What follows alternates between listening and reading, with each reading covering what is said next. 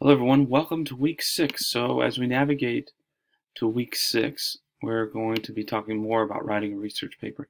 You have several videos that you need to watch, four to be precise. You have to pick a paper topic and start writing that paper.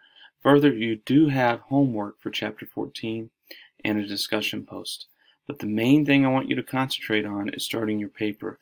Reach out to me if you have any questions, and I'd like to know your topic, so please email me your topic once you find one. Uh, not that I need to approve it per se, but I want to make sure you're on the right track. Further, as I talk about in the video about picking your topic, I will help you with your formatting. So please email me when you have questions regarding that, or if you have a draft you want me to look at. If you need anything, don't hesitate to reach out. Chap uh, the week six is open now, so we're going to jump into chapter 14 and chapter 15. From the perspective of homework chapter 14, I record a video on this because I think a lot of it is self-explanatory. However, look at the PowerPoint slides, redo the homework if you need to to get a better score. It's not that complicated.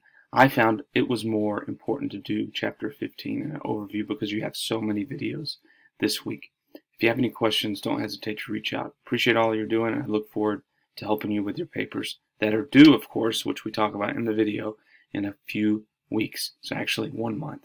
One month is plenty of time to write a paper. It's only five pages and we'll work together on it. If you have anything that you need, don't hesitate to reach out. Thanks so much.